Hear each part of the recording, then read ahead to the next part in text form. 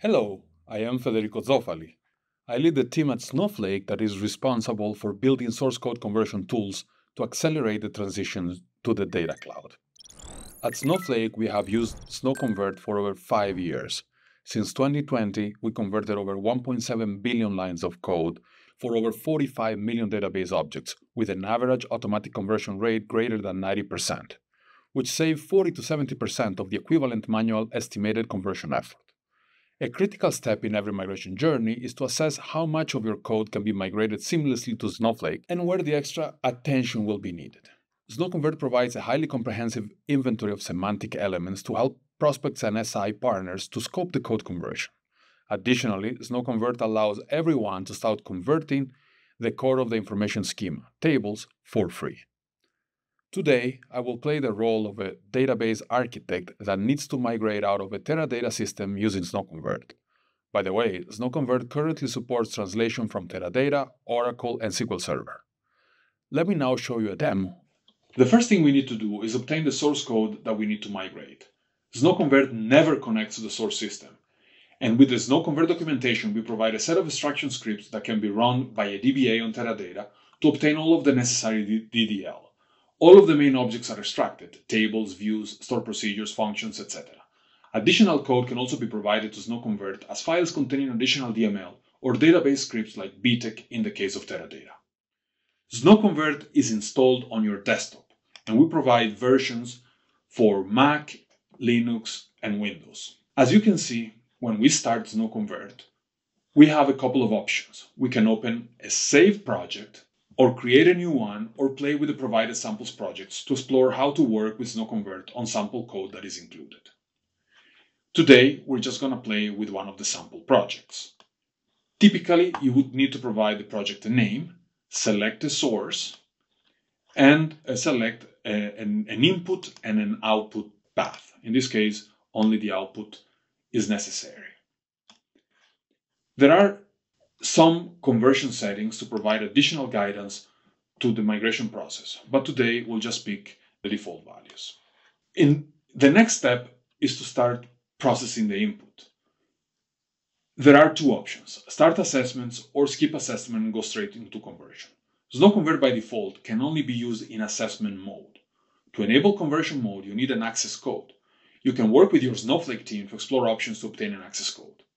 With the default mode, you can also convert all of your tables DDLs without the need to get an access code. When you do a conversion, SnowConvert will also do an assessment. But let's start an assessment.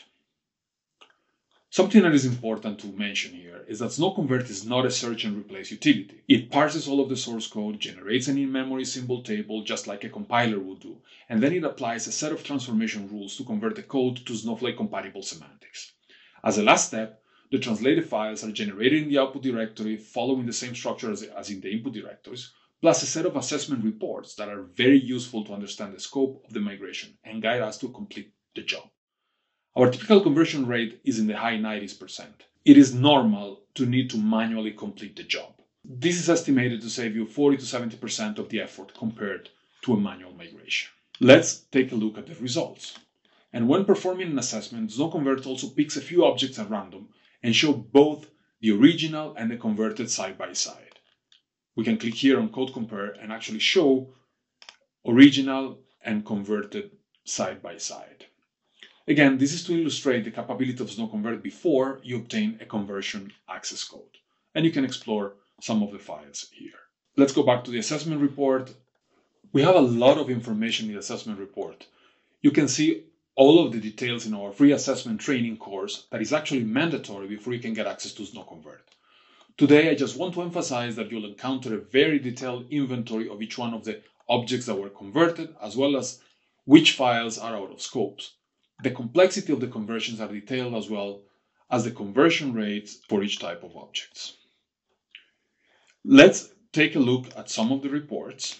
And for instance, let's take a look at the assessment report in Word format. More detailed information about the code can be found, in this report. Our goal is not only to convert everything that can be converted, but to also provide as much guidance as possible to the database architects to finish the conversion job.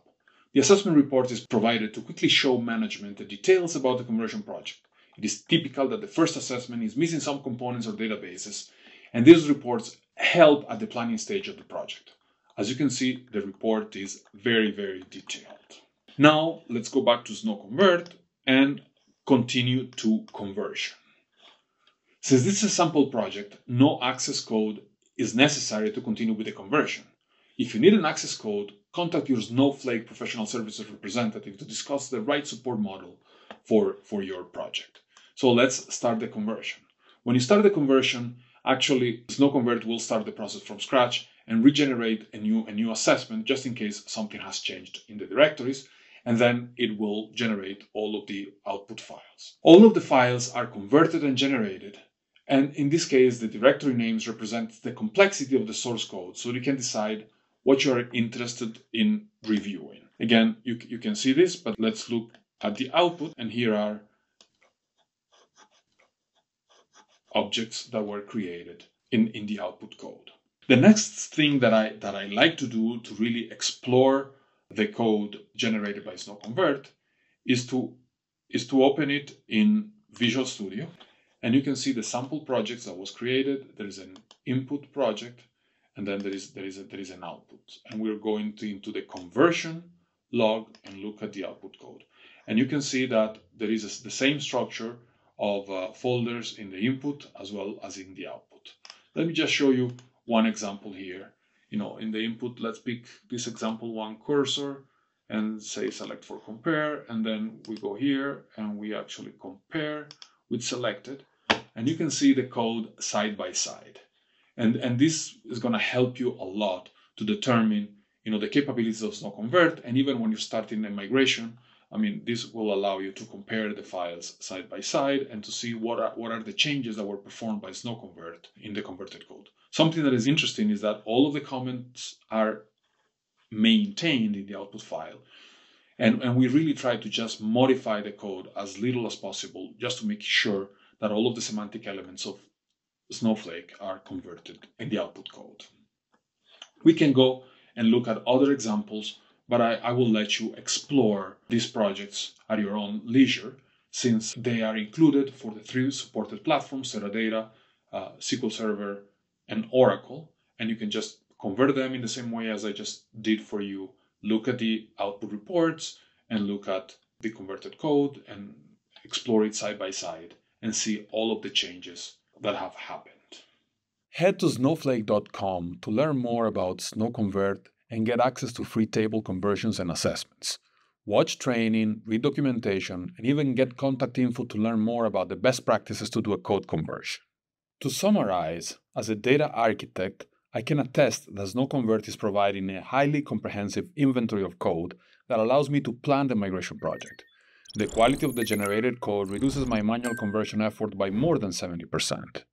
Enjoy your conversion tasks using SnowConvert.